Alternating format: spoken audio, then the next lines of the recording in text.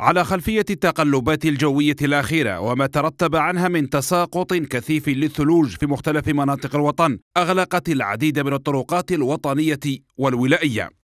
لقد تأثرت بعض الطرق الوطنية والولائية التابعة لإقليم اختصاص الدرك الوطني جراء الاضطرابات الجوية التي تمر بها جل مناطق الوطن خاصة مناطق وسط وشرق البلاد والتي نورد بعضها كما يلي. بولاية جيجل الطريق الولائي رقم 137 ضا في شطره الرابط بين بلديتي زيامة منصورية وإيراق نسوسي.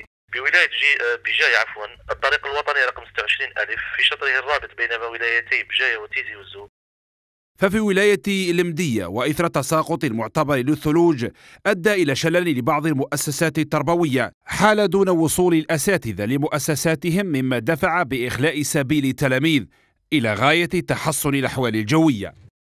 وطلعنا لمسيد ما حاوزونا خاطرش طاكسيات ما كاش. نضنا صباح بنروحوا نقراو قلنا الثلج يصب ما قريناش ما كاش كاع وسائل النقل. رحنا نقراو قالوا لنا ما تجوش. قلنا لهم علاه قالوا لنا الاساتذه ما جاوش اليوم ما قريناش بسبب الثلوج لأن الاساتذه يسكنوا بعيد أما في ولاية باتنا شهدت عدة طرقات توقف في حركة المرور.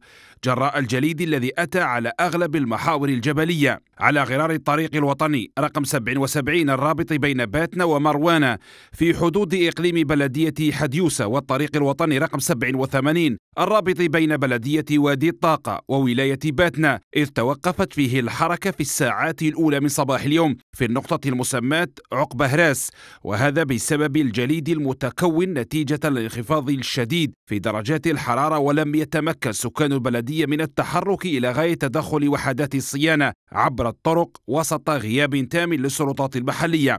يا خويا واحد ما طلع علينا من الصباح من السبعة وحنا هنا. والو ما كان حتى واحد. من الصباح والطريق مهرميه أما في ولاية سكيكدا فقد تدخلت وحدات الجيش الوطني لفك العزلة عن بعض المناطق المحاصرة وفتح الطرقات المغلقة بسبب تراكم الثلوج الذي شهدته الولاية.